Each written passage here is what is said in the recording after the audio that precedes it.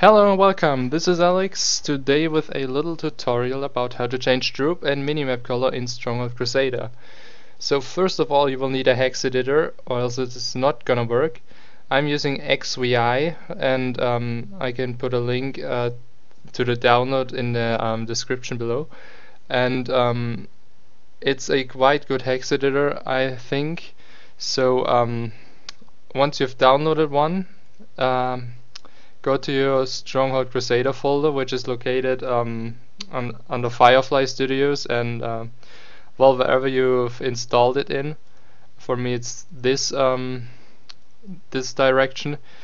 So uh, once you're in the maps folder, oh wait, actually you should back up your maps folder first, which I've done. So um, once you've done that, uh, go to your maps folder and select a map. You will have to change the color for every single map in the game, or else it's not um, gonna work. Oh, well, or else it's only working on um, on a specific map. So um, if you only want to change it for one map, that's fine. Um, then that's what I'm gonna show you. I'm not gonna change it for every single map. So now let's just pick a new land here um, right click it and open with and now you will have to find your hex editor and um, click on search. So you want to find your hex editor's exe file. Um, and for that um, in my case it's under downloads.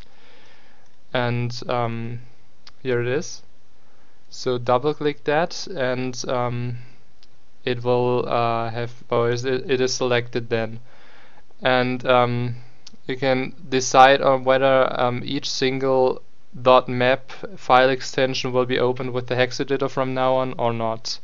I've done so, um, that's why the check mark is in there. And now let's proceed by clicking OK. And then you will see this um, mess of letters and numbers. Um, and what we want to do now, um, assuming you're using XVI, as I said, um, you can find, or you should find this uh, text string, or this hex string, more to say, um, and click on OK. It will redirect you to um, this uh, piece of code, or this piece of hex, and um, so what this is here this is the place where the color red to teal is located. I will divide this tutorial in two steps. The first thing will be the um, easy, or well not the easy, but a, a bug-free version, which is um, gonna be changing colors from from red to blue, because that is the only um, color that you can change without any side effects. So one is um, actually the color for blue and um, these are all the other colors. I will put a um, slide info box um, here on the screen somewhere so you can see which color is um, associated to which um, number. So for now we want to change red and blue. This is blue and this is red. So the fourth um, number is red. And um, if you change that now, uh, hold on, to 01, our troops will have blue color. However, as you notice, now um, the uh, there are two players with um, blue color, so um, we'll have to make the blue player red by um, changing this bit to O to O uh, to O2. Sorry. Um, and now by saving that and starting up our game, our map or our troop color should have changed. Greetings, sire. let's find the map. It was a new land right here. Let's actually pick four opponents here. Oh. So we can see what um, blue turns into, if it turns into red. So let's just start the game on maximum speed. Um, as you can see we are blue on the main screen, yeah, okay. We're blue on the main screen and um, blue on the minimap as well. Now if we look down to the blue sultan or the supposedly blue sultan, he is red and his minimap color is also red. So um, that worked and um, this was the tutorial um, to about how to change your troop color to blue. I will um, now tell you how to change your troop color to any other color which is a little bit um, or which has a side effect that is um, kinda annoying. But I will teach you that now before the Sultan is gonna kill me. So see you in a bit. Alright to change your color to anything else but blue um, you will need to first of all find a map that you want to change it on which I'm gonna do now. I will go with the river so um, let's find our hex string again which I will also put down in the description below by the way. And um, there we are. And now let's um, this is our color number. Let's say we want to go for teal. So teal is 07 so let's replace 02 with 07 and um, now you might think by replacing 07 with 02 it's gonna change our color as well. Or it's gonna work properly as well. That however I've noticed is unfortunately not the case. Sorry. So um, I will show you quickly what um, what happened here. so here is the river. Let's go for a full match. And um, our display color here is teal but our minimap color as you can see is still red. So now let's take a look around the map. So we have the blue player who is apparently on the minimap teal as well. We have um, and the red player is blue on the minimap. So it's still kinda messed up. And um, not really what it is supposed to be. So and I've not quite figured out why that is so. So let's get back to our hex string. And um, so if you are fine completely fine with only changing your display color um, then all you will have to do is um, well actually it is not true as well so just forget what I just said um, I'll have to reopen the map. I just did something wrong. So here we are. And um, so actually if you're fine with only changing your um, display color um, you can simply only change 02 to 07 which will then result in um, two teal players but um, that is the side effect of that. So however if you really want to um, change your color to uh, to teal um, and as I said this has a side effect you will have to change 01 to 07 as well. So and here's why. 07 apparently so the first number here um, is actually your minimap color. Um, unless you want to change from red to blue for some reason. So if you just simply um, change your color to blue and replace that one with red, everything is fine. But if you do it for any other color, it does not work. So here's um, how to change it, uh, how to change your troop and minimap color to teal.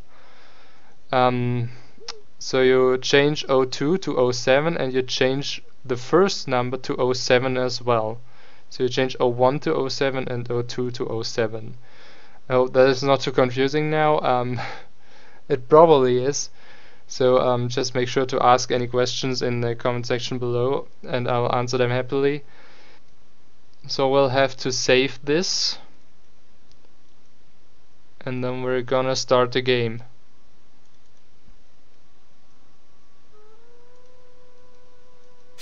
And I will now also show you the side effect this brings with it.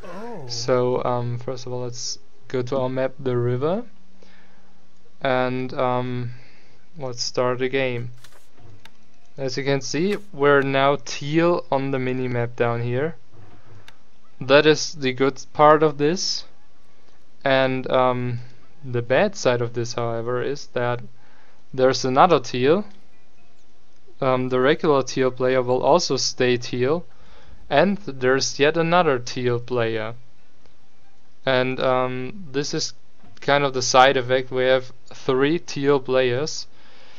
And um, that is the reason why I decided to stick with blue because um, it would be too confusing to have like three players of the same color and unfortunately I've not really found a way to fix this bug because um, there is some some really uh, confusing stuff in that I've tried a few uh, setups of the numbers but I've not really um, come to a good conclusion so um, let's change. Well, this color always has to stay 07. Now, if we change, say, the last steel player to um, red, this is not gonna work either. And I will show you why. Uh, and I will show you in game how this looks like now. Greetings, sire. The desert awaits you. Oh. So let's go to the river and put ourselves up there and we're still teal as you can see there's another teal and um, the supposedly teal player is now red on the display side and um, blue on the um, minimap so this is not really um, what I'm satisfied with kind of so um, yeah, I've kinda uh, just uh, I'm just happy with blue. And now that was kinda confusing, so I will show you on another map finally how you can easily change your color to anything else but blue with the um, so-called side effect however. So unfortunately it's not not possible with a um, without a side effect. So let's just go with the valley and search our string again. And there we go. Here we are. So the first color is blue. And um, this is our color. The fourth play uh, the fourth color is ours. So by changing that let's say we want green. We change that here to green. And to also get our minimap to um, display green we'll have to change this number as well so we'll go with 08 and 08 and um, save that. Start up the game. Greetings, sire. The and um, where's the Sultan I Oh, keep forgetting where he is. Oh. Let's go to the valley, which is here, and um, start the game. As you can see, we're green. We're also green on the minimap. And um, the side effect of this is that we have three green players. Unfortunately, there's no way I found um, to avoid this. So here we are, this is the first green player. This is the second green player and we are the third green player. So, well this is the kind of side effect that you would have to deal with by um, changing a color to anything else but blue. And, well that's it basically. And, well I hope I could help you with um, I could give you some insight more um, to say, and I hope I didn't confuse it too much. Can't place that And um, Tire, my lord. You can, as I said, you will have to do this to every single map individually. Uh, so um, this I now change it for the valley, for a new land, and for the river. So um, if you, uh, I can also actually put a download to um, the blue maps. So I've changed my maps uh, to or my troop color to blue on every single map and I can put up a download for that so you don't have to do that because it took me like half an hour. So um, maybe that's an idea. And if you have any questions because this was probably very complicated um, feel free to ask and I will give my best to give you a clear answer to that. And with that being said thanks for watching and make sure to tune in the next time as well. Thank you